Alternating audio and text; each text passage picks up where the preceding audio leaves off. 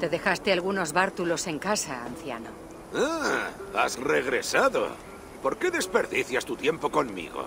En esta caja están todas tus canciones. Es un regalo que no puedo aceptar ni pagar. Algún día querrás volverlas a leer. Debe ser tú quien las tenga.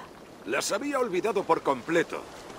Ahora tendré algo a lo que dedicarme en esta nueva vida. Tan solo el atardecer podrá decirte cuándo parar. Y tal vez no le haga caso. Ya van dos veces que has despertado mi admiración. Dime cómo te llamas. Eivor. Eivor. Si los dioses lo quieren, me sentaré a la mesa de Odín antes que tú. Y allí le hablaré de ti para que cuando llegue la hora de que ocupes tu lugar, te llame por tu nombre. Hasta más ver.